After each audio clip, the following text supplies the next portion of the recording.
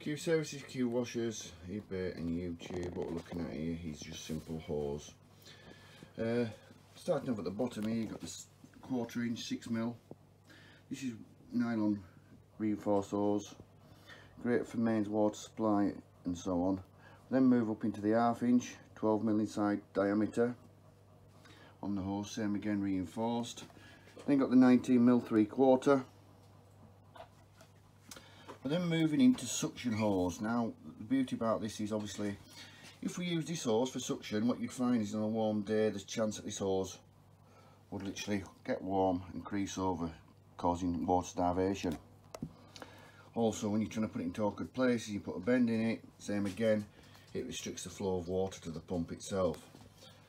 This hose here, wire braided, you can do that, no problem or put a bend in it, tight bend, it will protect itself it will not crease over.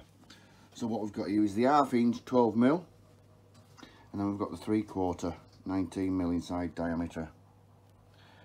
So we've got the different types of hoses for the job. So the suction when you suck in always try to use this or if you're in an awkward place try to use this hose because like I say it will protect the pump itself from starvation of water not creasing.